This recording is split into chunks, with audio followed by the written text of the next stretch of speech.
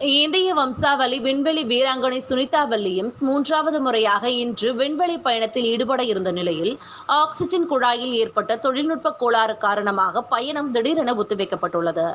குஜராத்தை சேர்ந்த தீபக் ஸ்லோவேனியாவை சேர்ந்த போனி பாண்டியா தம்பதிக்கு மகளாக அமெரிக்காவின் ஓகியோ மாகாணத்தில் பிறந்தவர் சுனிதா வில்லியம்ஸ். வயது ஐம்பத்தி எட்டு.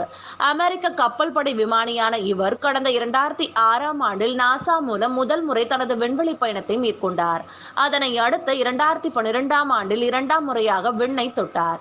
அவர் இதுவரை முன்னூத்தி இருபத்தி இரண்டு நாட்களை அவர் விண்ணில் கழித்திருக்கிறார். அது மட்டுமின்றி விண்ணில் நெடுநேரம் நடைபெற்ற முதல் பெண் என்ற சாதனைக்கும் சொந்தக்காரர். அமெரிக்காவை சேர்ந்த போயிங் நிறுவனம் ஸ்டார்லைனர் என்ற விண்வெளி ஓட்டத்தை உருவாக்கியுள்ளது. அந்த ஓடும் சோதனை முறையில் முதல் முறையாக நேற்று விண்ணில் செலுத்தப்படும் என அறிவிக்கப்பட்டது.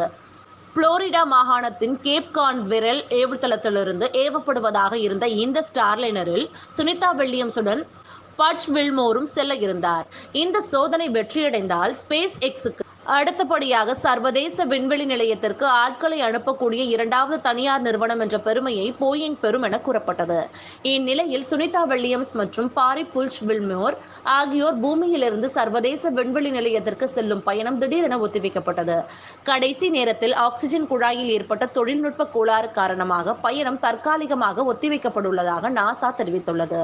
ராக்கெட்டை புளோரிடாவில் உள்ள கேப் கனாராவில் ஸ்பேஸ் போர்ஸ் ஸ்டேஷனில் உள்ள விண்வெளி ஏவுதளம் நாற்பது நாற்பத்தி ஒன்றிலிருந்து இந்திய நேரப்படி நேற்று மே ஏழு காலை எட்டு நான்கு மணிக்கு ஏவ நாசா திட்டமிட்டிருந்த நிலையில் சுனிதா வில்லியம்ஸின் விண்வெளி பயணம் ஒத்திவைக்கப்பட்டது.